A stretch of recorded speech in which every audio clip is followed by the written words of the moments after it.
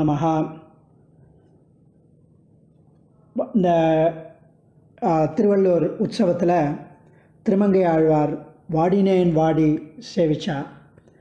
நாராயணா என்னும் நாமம் அப்படின்னு ரொம்ப ஆச்சரியமாக நான் கண்டு கொண்டேன் நாராயணா என்னும் நாமம்.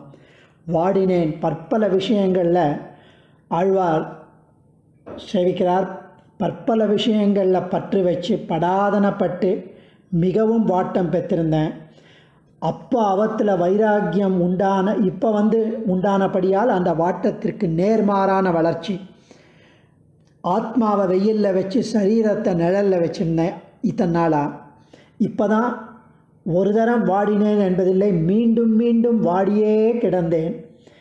சிலவற்றை கேட்பவன் அந்த வருத்தத்தை பிறரிடம் சொல்ல முடியாத அளவு வாடி இருந்தேன் அதுவும் எம் எம் வாபி ஸ்மரன் பாவம் தியஜத்தியந்தே கலேபரம்.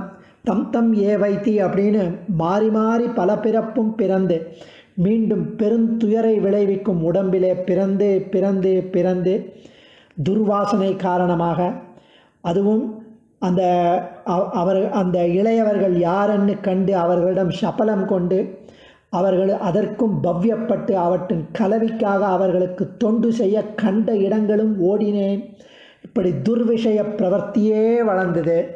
அப்படி இருக்கும்போது பரமப்பிராப்பியமான வஸ்து தானாகவே என்னை தனக்காக்கி கொண்டதை என்னவென்று சொல்லுவேன்?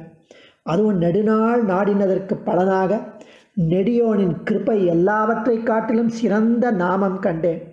கண்டவுடனே மீதி பொருளில் இருக்கிற ஆவலுக்கு மேலாக இதில் பரம ஆவலுடன் கொண்டேன்.